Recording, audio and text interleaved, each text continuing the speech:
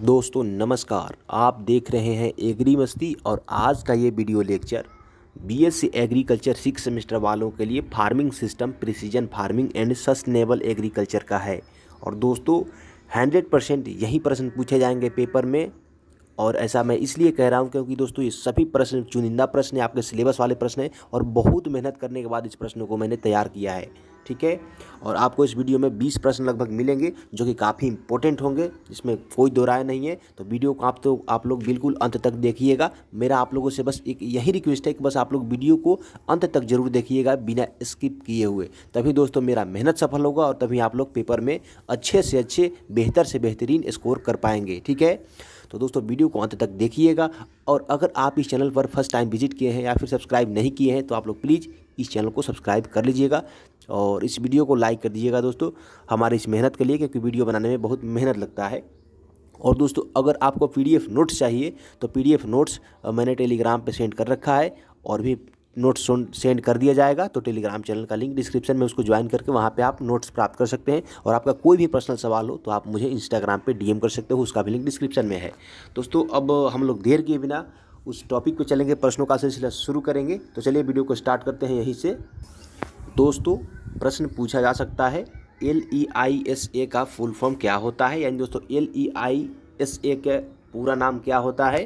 तो इसका I L E I S A का फुल फॉर्म होता है low external input and sustainable agriculture क्या होता है? Low external input and sustainable agriculture बिल्कुल आप लोग इसको रट्टा मार लीजिए, क्योंकि दोस्तों पेपर में अब टाइम नहीं है। और नेक्स्ट है आपके बदलते जलवायु और विषमताओं के बीच अन्न उत्पन्न करने अन उत्पादन में क्रमागत वृद्धि करना क्या कहलाता है? दोस्तों, बदलते जलवायु बदल जलवायु परिवर्तन और सभी जो विषमताएँ हैं वातावरण के, इसमें लगातार अन्न उत्पादन को क्रमागत बनाए रखना, इसको टिकाऊ कृषि कहा जाता है, ठीक है? टिकाऊ कृषि कहा जाता है, यानी सस्टेनेबल एग्रीकल्चर कहा जाता है। और नेक्स्ट है आई एन एम का पूरा नाम, यानी full form of I N M तो दोस्तों आई एन एम का फुल फॉर्म होता है इंटीग्रेटेड न्यूट्रिएंट मैनेजमेंट यानी समन्वित पोषक तत्व प्रबंधन, ठीक है? इसको याद कर लीजिएगा। बढ़िया से रटा मार लीजिएगा, ताकि पेपर में आप बिल्कुल आसानी से इन सभी प्रश्नों को उड़ा सकें और सिस्टम हैंग कर सके। और नेक्स्ट है आपका ओ एफ़ आर ए का फुल फॉर्म यानी दोस्तों ओ एफ़ आर का पूरा नाम क्या होता है? तो बिल्कुल देहाती भाषा में समझिएगा लोकल भाषा में। तो ऑन फार्म एग्रीकल्चर रिसर्च होता है। क्या होता है? ओ एफ़ आर ए का मतलब ऑन फार्म एग्रीकल्चर रिसर्च और दोस्तों, आपको जितने भी मैं प्रश्न बता रहा हूँ, ये आपके सिलेबस वाले प्रश्न हैं। अतः वीडियो को अंत तक देखिएगा, ठीक है? क्योंकि आप आप लोगों ने तो बहुत रील्स देखे और बहुत गाना सुने तो बस कम से कम पेपर के टाइम में भी वीडियो को देख लिया करिए बढ़िया से। और नेक्स्ट है आपका फ़सल उत्पादन के साथ साथ पशुपालन तथा डेयरी उद्योग कहलाता है। और दोस्तों, इस प्रश्न को पिछले साल पूछा गया था, ठीक है? तो इसको क्या कहते हैं? इसको मिश्रित खेती कहते हैं या मिक्स्ड फ़ार्मिंग कहते हैं, ठीक है? मिक्स क्रॉपिंग यहाँ पे नहीं होगा, इसको ध्यान रखना है, ठीक है? तो फ़सल उत्पादन के साथ साथ पशुपालन और डेयरी उद्योग को मिक्स फ़ार्मिंग और जिसको हिंदी में मिश्रित खेती कह, मिश्रित कृषि कह सकते हैं। ठीक है? मिश्रित कृषि। और नेक्स्ट है आपका, एक हेक्टेयर मछली पालन करने के लिए बतख कितने पाले जा सकते हैं? चूँकि आपको बता दें कि मछली पालन और बतख क्या है, ये दोनों एक साथ इसको किया जा सकता है। और जो बतख का बीट होता है, उसको मछली खाती है। और जो तालाब का कचरा होता है, उसको बतख खा जाती है तो ये काफ़ी फ़ायदेमंद होता है। अगर आपसे पूछा है कि एक हेक्टेयर मछली पालन करने के लिए कितने बत्तख पाले जा सकते हैं तो तीन सौ बत्तख पाले जा सकते हैं, ठीक है? ये आपका फ़ार्मिंग सिस्टम का ये बहुत ही इंटरेस्टिंग टॉपिक है, जो मैं आपको बता रहा हूँ। और नेक्स्ट है, निगम संचालित खेती यानी कॉरपोरेट फ़ार्मिंग किस देश में प्रचलित है? तो दोस्तों कॉरपोरेट फ़ार्मिंग आपके अमेरिका यानी यूएसए में पॉपुलर है, ठीक है? वहाँ पे बहुत ज़्यादा क्या होता है निगम संचालित खेती, जिसको कॉरपोरेट फ़ार्मिंग कहा जाता है, वो होता है। और नेक्स्ट है टेंसियोमीटर का प्रयोग किसको मापने के लिए करते हैं? तो दोस्तों टेंसियोमीटर का प्रयोग मृदा में नमी को मापने के लिए करते हैं। और दोस्तों, अगर अभी तक आपने फ़ार्मिंग सिस्टम का जो प्रीवियस ईयर का पेपर का सोल्यूशन है तो प्रीवियस ईयर का पेपर वाला वीडियो नहीं देखा तो उसको भी देख सकते हैं। और इस वीडियो का पहला पार्ट भी देख सकते हो। दोनों वीडियो का लिंक आपको डिस्क्रिप्शन में मिल जाएगा। तो जाइए वीडियो का डिस्क्रिप्शन चेकआउट करिए और वहाँ से आप दोनों वीडियो को भी देख लीजिएगा और उसमें इंस्टाग्राम का लिंक होगा तो वीडियो ख़त्म होते आप जाके मुझे इंस्टाग्राम पर टप से फॉलो भी कर लीजिएगा। और नेक्स्ट है आपका आ, मैं आपको बताया टेंसोमीटर का प्रयोग मृदा नमी मापने के लिए यानी सॉइल मॉइस्चर को मेज़रमेंट करने के लिए किया जाता है। और नेक्स्ट है सहकारी खेती कितने प्रकार के होते हैं? तो दोस्तों सहकारी खेती के कितने टाइप्स होते हैं? तो चार टाइप्स होते हैं ठीक है? कौन कौन सा? पहला है सहकारी उन्नत खेती, जिसमें भूमि पर, भूमि का जो स्वामित्व होता है, ये व्यक्तिगत होता है। कैसा होता है? उन्नत खेती में भूमि का स्वामित्व व्यक्तिगत होता है और दूसरा है सहकारी संयुक्त खेती इसमें स्वामित्व जो होता है, भूमि का सामूहिक होता है। कैसा होता है? सहकारी संयुक्त खेती में सामूहिक होता है। और नेक्स्ट है आपका सहकारी कस्तकारी खेती। या पट्टेदार खेती तो इसमें क्या होता है? ये भी एक सहकारी कस्तकारी खेती भी एक क्या है? आपका सहकारी खेती का प्रकार है जिसमें स्वामित्व व्यक्तिगत होता है और नेक्स्ट है और चौथा है आपका सहकारी सामूहिक खेती। इसमें क्या होता है? नाम से ही स्पष्ट है कि सामूहिक खेती हो रहा है तो इस पर किसी के एक का स्वामित्व नहीं रहेगा। अतः ये होगा आपका सहकारी जो सामूहिक खेती है, इस पर भूमि पर स्वामित्व जो होता है, ये सामूहिक रूप से होता है। और नेक्स्ट है रिले क्रॉपिंग को किसने दिया? तो दोस्तों रिले क्रॉपिंग एक क्या है? क्रॉपिंग सिस्टम है जिसको शेर सिंह बेंस द्वारा दिया गया। किसके द्वारा? शेर सिंह बेंस द्वारा। देखिए ये भारतीय वैज्ञानिक है तो इनका नाम याद करने में आ, कितना मज़ा आ रहा होगा। चलिए शेर सिंह सभी जगह का नाम होता है। और वहीं यहाँ पे अल्फ्रेड वल्फ्रेड कुछ होता तो माथा ख़राब हो जाता है। तो रिले क्रॉपिंग किसने दिया? तो शेर सिंह बेंस ने दिया। और नेक्स्ट है आपका धान मछली और सब्ज़ी प्रणाली का विकास कहाँ हुआ? दोस्तों ये क्या है? ये कृषि प्रणाली है, ठीक है? धान, मछली और सब्ज़ी तीनों को उगाना। और इस प्रणाली का विकास कहाँ हुआ? तो भवाली, तमिलनाडु में। कहाँ हुआ? तो भवाली, तमिलनाडु में हुआ था। और नेक्स्ट है, शुष्क कृषि प्रणाली किसे कहते हैं?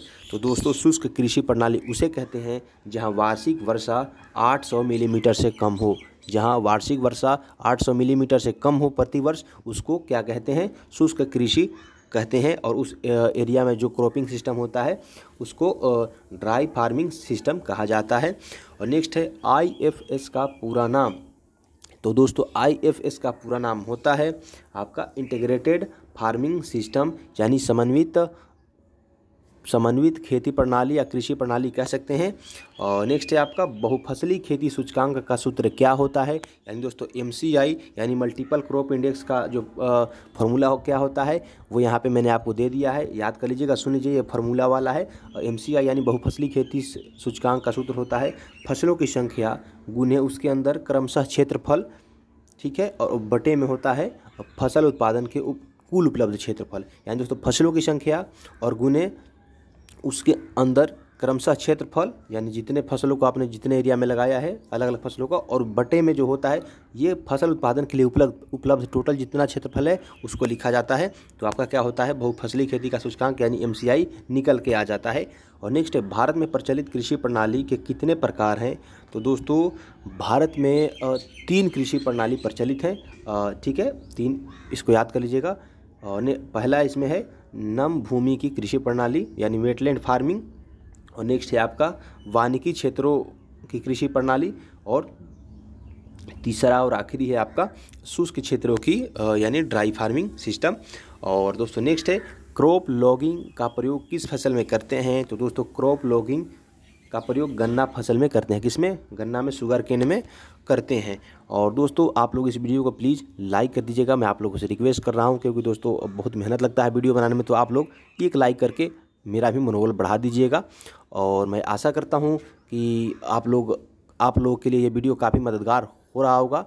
और इसी तरह के वीडियो लगातार देखने के लिए इस चैनल को भी सब्सक्राइब कर लीजिएगा। और नेक्स्ट प्रश्न को भी देख लीजिए। भारत का कुल कृषि योग्य भूमि कितना है? दोस्तों, भारत में कुल कृषि और भूमि यानी बात करें सिर्फ़ जिस पे एग्रीकल्चर किया जाता है तो वो 142 मिलियन हेक्टेयर कितना? 142 मिलियन हेक्टेयर ठीक है? और नेक्स्ट है आपका, सहकारी किराएदार खेती में भूमि का स्वामित्व कैसा होता है? तो दोस्तों, सहकारी किराएदार खेती जो होता है, इसमें भूमि पे जो स्वामित्व होता है, वो सामूहिक होता है, ठीक है? और नेक्स्ट है आपका, मछली के तालाब की गहराई कितनी होनी चाहिए? तो दोस्तों, मछली का जो तालाब होता है, उसकी गहराई डेढ़ से दो मीटर होती है। कितना? डेढ़ से दो मीटर होनी चाहिए, ठीक है? ये बेहतर माना जाता है, और ज़्यादा गहरा कर देंगे तो भी नुकसान की बात है, और अगर कम गहरा हो तो भी नुकसान की बात है। तो मछली की तालाब की गहराई डेढ़ से दो मीटर होनी चाहिए। और दोस्तों इस वीडियो सीरीज़ का जो मैं बता रहा हूँ कि ये दूसरा पार्ट है, और प्रीवियस ईयर का पेपर का सोल्यूशन वाला भी वीडियो डिस्क्रिप्शन में मिल जाएगा आपको, और इसका फ़र्स्ट पार्ट भी मिल जाएगा तो दोनों वीडियो को देख लीजिएगा। आपके लिए काफ़ी मददगार होने वाला है। और दोस्तों इस वीडियो को यहीं समाप्त करेंगे। उससे पहले आप लोगों से मेरा रिक्वेस्ट कि इस चैनल को अवश्य ही सब्सक्राइब करें, और आपका कोई भी पर्सनल सवाल हो तो आप मुझे इंस्टाग्राम पे डीएम कर सकते हैं। उसका लिंक डिस्क्रिप्शन में है। दोस्तों, बस करते हैं, इस वीडियो को ही समाप्त, और मिलते हैं किसी अगली वीडियो में। तब तो तक के लिए आप सभी का बहुत बहुत धन्यवाद। और नमस्कार, ठीक है? क्योंकि दोस्तों, आप लोगों के मदद से ही ये चैनल चलता है और मैं भरपूर प्रयास करता हूँ। कि चैनल के माध्यम से आपको निश्चित ही लाभ मिले। अब बस करते हैं, वीडियो को यहीं समाप्त, ठीक है?